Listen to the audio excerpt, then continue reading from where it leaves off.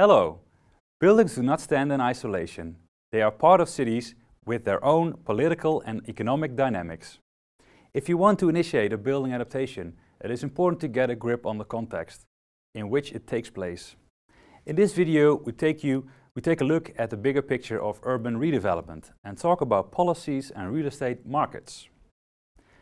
This is an example of an urban redevelopment project called Hafen City in Hamburg. This former brownfield site was used for harbor and industrial activities and became obsolescent in the last 20 years. Because the site lay partly abandoned, the municipality thought it was a good idea to redevelop the area. Also, the location offered opportunities to create a mixed-use urban area right at the riverfront and close to the heart of the city. The area is still being developed with both new buildings and buildings that are being adapted.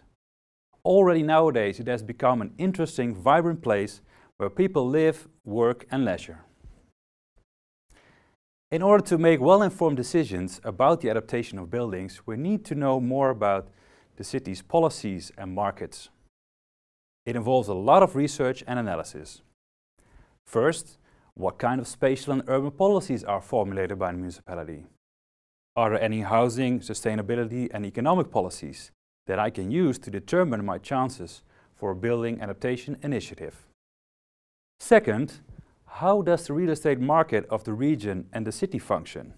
Is there a demand for housing, offices or retail? And is the current building supply matching the demand for space from organizations? What is a policy? Policy are statements of intent here you see an example of the sustainability and climate change policy of the municipality of Rotterdam. The document contains three policy objectives. The green, healthy and resilient city, cleaner energy and lower costs, and a strong and innovative economy. Within this document you can also find more specific objectives that can be of interest for building adaptation, like sustainable areas, green buildings, sustainability procurement and so on. This is really valuable information. Here you see another policy example, the so-called Structural Vision 2040 of the Municipality of Amsterdam. In the Netherlands, such visions are written by municipal planning authorities to define spatial policies and plans. In this case, Amsterdam formulated six spatial tasks. Densification, transformation, public transport, the high quality of public space, and diverse use of green space and water, and sustainable energy. This is great information. When you come up with a building adaptation initiative that contributes to a few of these spatial objectives, you are more likely to get cooperation by the authorities. Of course, they also want all of these ambitions to be realized, and they can use you, your help to do so. So, when you initiate a building adaptation, you look for all kinds of municipal policies in order to define the opportunities. Then a policy document analysis can be of assistance. It can be a tool to search for policy statements about building adaptation, for example. You could make a good analysis by setting up a structured table.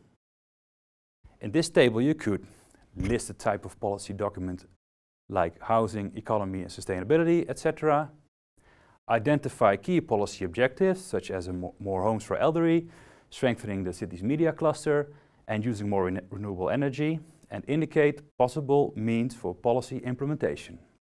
For example, specific legislation, regulation and subsidies available for building adaptation.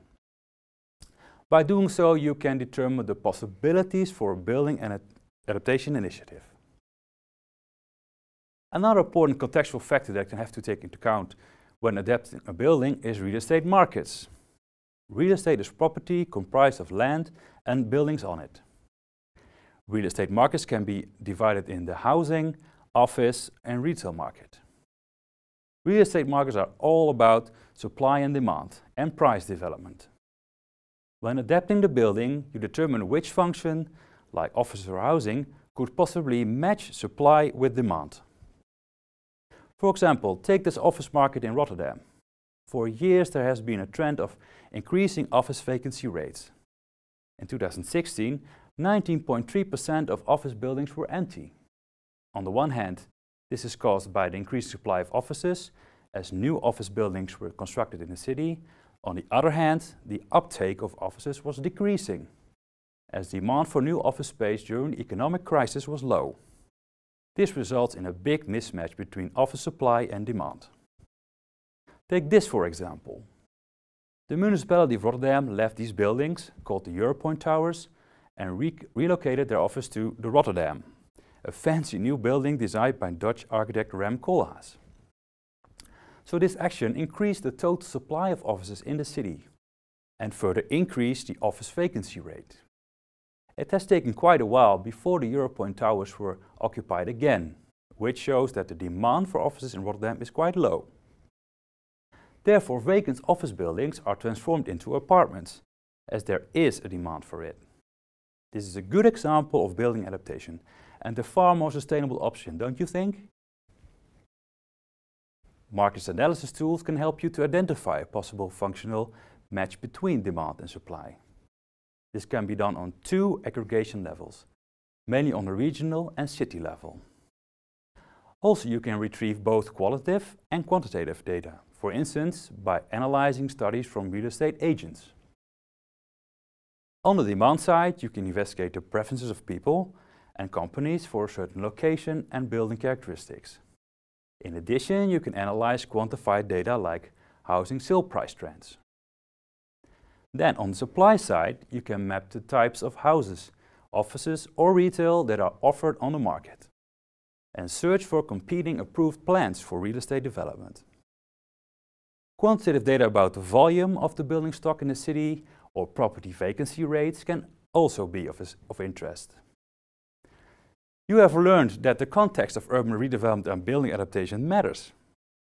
I told you we should always analyze spatial policies and real estate markets. All in all, there's a lot of data out there that could help determine the most suitable objective and function for your building adaptation.